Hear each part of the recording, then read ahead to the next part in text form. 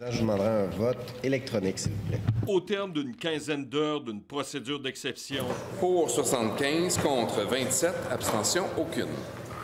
Alors la motion est adoptée.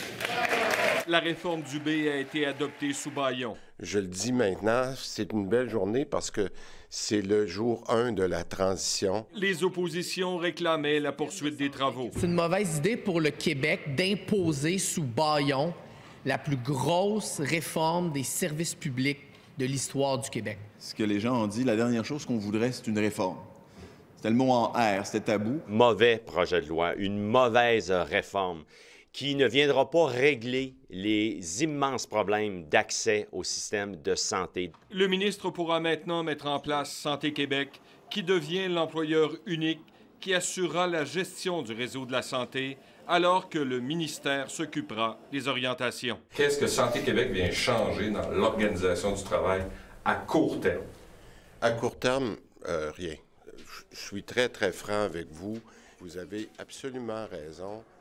La priorité en ce moment est sur notre personnel. Et ça, pour être capable de le régler, il faut régler nos conventions collectives.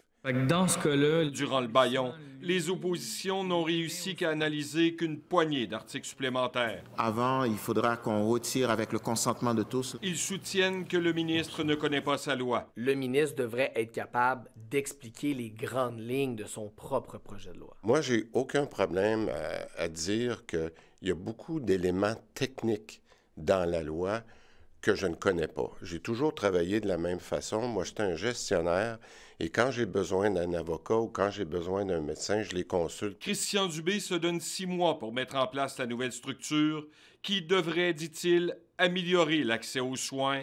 Il assure que le réseau sera plus efficace. Ça veut dire d'avoir accès à un médecin spécialiste euh, plus rapidement, où il va y avoir beaucoup plus de flexibilité dans le réseau. Une personne qui serait, par exemple, capable d'être servie ou soignée dans un délai raisonnable pour une chirurgie, qu'elle pourrait, on pourrait l'envoyer ailleurs dans le réseau ou même au privé. Le gouvernement est conscient qu'il doit aussi s'entendre rapidement avec ses employés. S'il n'y a pas de règlement, la FIC sera en grève du 11 au 14 décembre prochain.